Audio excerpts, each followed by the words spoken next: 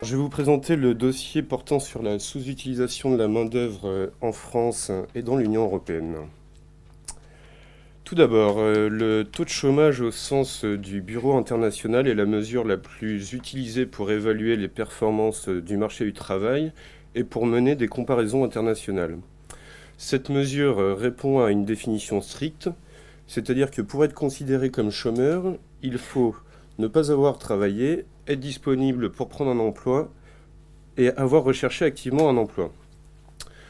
Cette mesure écarte toutefois certaines personnes qui souhaitent travailler et travailler plus, en particulier les inactifs qui souhaitent travailler mais qui ne remplissent pas les critères stricts du chômage BIT, c'est ce qu'on appelle le halo du chômage, et aussi les travailleurs en temps partiel qui souhaitent travailler, qui souhaitent travailler, c'est ce qu'on appelle le sous-emploi.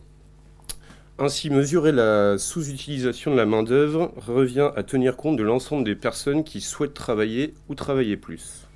Dans le cas de la France, en 2017, en plus des 2,6 millions de chômeurs, on compte 1,6 million de personnes en sous-emploi et 1,5 million de personnes dans le halo du chômage. Au total, en France, en 2017, la main-d'œuvre sous-utilisée est composée de 5,7 millions de personnes.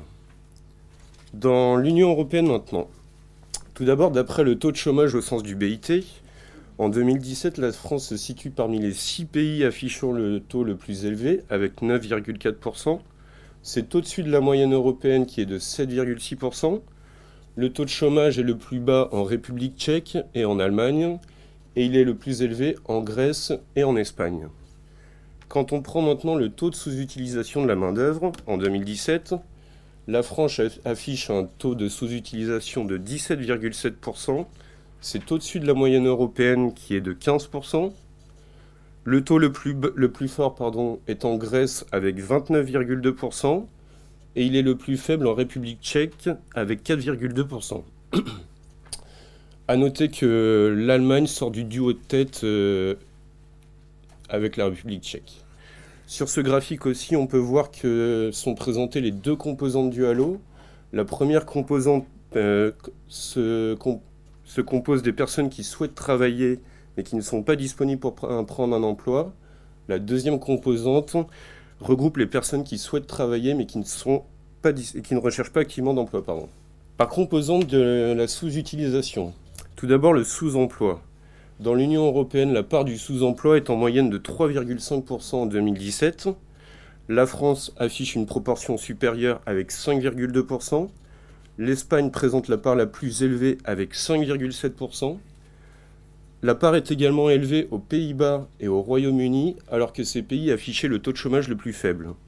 Enfin, la République tchèque présente la part la plus faible du sous-emploi avec 0,4%. Concernant le halo du chômage maintenant, dans l'Union européenne, la part du halo est en moyenne de 4,1%. La France présente une part plus faible avec 3,5%. Et enfin, la part du halo est particulièrement élevée en Italie et en Finlande de respectivement 10,8% et 7,1%. Ce qu'il faut retenir de ces, de ces de ces classements, de ces comparaisons des classements selon le taux de chômage et le taux de sous-utilisation, c'est que tout d'abord, le classement des pays européens reste globalement inchangé. La France euh, se retrouve dans une position à peine plus favorable, c'est-à-dire en septième position, alors qu'elle était en sixième position avec le taux de chômage. La République tchèque euh, affiche toujours les meilleures performances euh, du marché du travail. Et enfin, la Grèce toujours les moins bonnes. Mais pour certains pays, les performances en matière de chômage sont à relativiser, en particulier pour les Pays-Bas, l'Allemagne et le Royaume-Uni, qui voient leur position se dégrader nettement. A l'inverse, les performances s'améliorent pour la Pologne, la Slovénie et la Slovaquie. Les données permettent également de faire des comparaisons par âge, sexe et diplôme.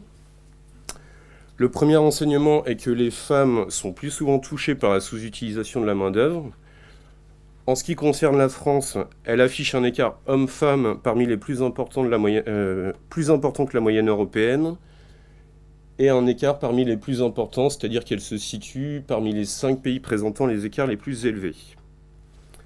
Par niveau de diplôme maintenant, ce sont les moins diplômés qui euh, pâtissent le plus de cette sous-utilisation. Là encore, la France affiche un écart parmi les plus importants entre les plus diplômés et les moins diplômés, et cet écart en France est supérieur à la moyenne européenne.